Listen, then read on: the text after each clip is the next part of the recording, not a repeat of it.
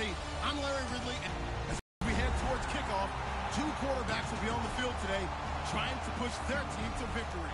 It's Garoppolo's Patriots going up against Newton's Panthers. With that, let's get up to Bank of America Stadium in Charlotte. Here are Brandon Gaudin and Charles Davis.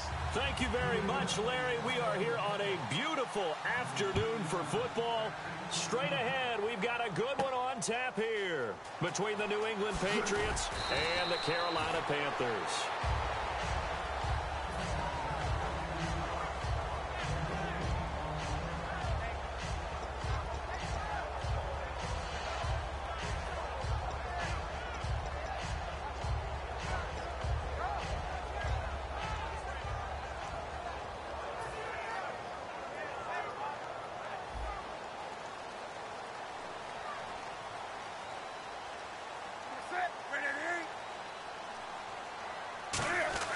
They go play action here on first down.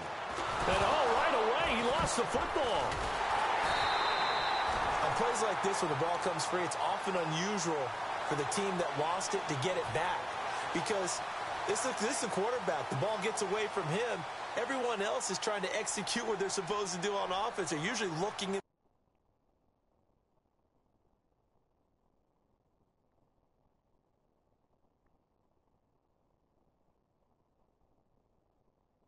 downfield or have moved away from him.